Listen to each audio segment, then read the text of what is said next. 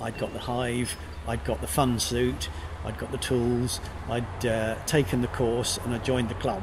So uh, I was in a great place, just didn't have any bees. I was told uh, whilst I was taking the course that over the road, not far from me, lived another beekeeper. Well, I first got into bees, um, I'm, I'm guessing, possibly 15, 16 years ago. We visited the monastery down at Farnborough. It was a particular monk who suggested that uh, I should go with him the, the, after a day or so down to the apiary where they had quite a large quantity of hives. And he just introduced me to the apiary, introduced me to the, to the workshops, and said, This is the world of bees. And I have to say, from that second, I was hooked. Andy was uh, nice enough not only to involve me in his own beekeeping and show me some practical, uh, hands on techniques, but he also established me a small hive called a nucleus, which uh, started off my first hive of bees.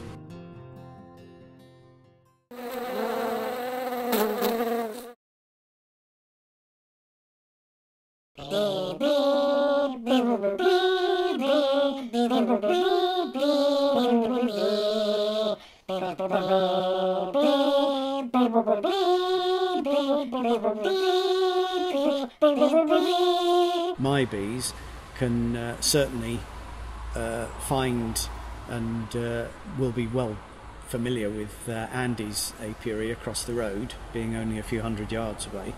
And um, an easy way of getting honey from one hive uh, is to pinch it from another hive.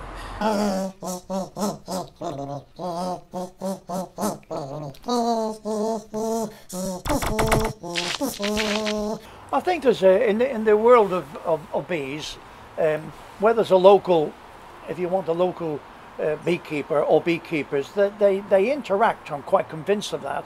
Um, they interact on on on, on the uh, uh, on the nectar flow, etc., and they just get on with it, and it all goes back to their particular hive, and they don't let any other bees get into the hive. That is, bees with the wrong smell or wrong whatever. They don't let them happen. They might pop over to my garden, my my local beekeeper. Not mine my pop over there, but they've all got a job to do. And if there's pollen out there and, and there's nectar out there and it's on flow, they they just get on with doing it and peacefully. I I, I understand. Yeah. In the later part of the season, uh, the bees become quite defensive because they've collected some honey, and um, sometimes the weaker hives will be raided by uh, parties of pillaging bees from the stronger hives, uh, and that includes my pillaging bees going over and raiding Andy's as well as his coming over and raiding mine. And we hope that the bees will defend their uh, their hives, lining up round the entrance with hundreds of little beady eyes peering out, looking for raiding parties, and hopefully heading them off before they can come and pinch the honey.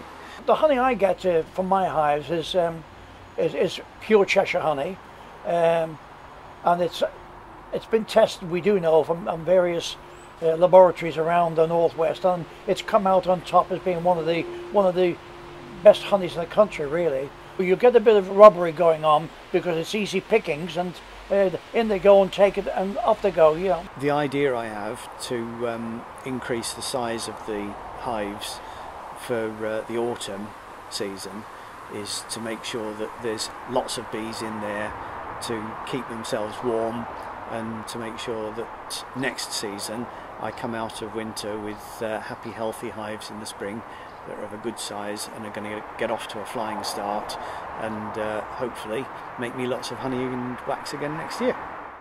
The force is strong with you and your sister and her sister and your other sister and her other sister and their other sister and your other sister's sister and their sister and her sister and our sister and your other sister.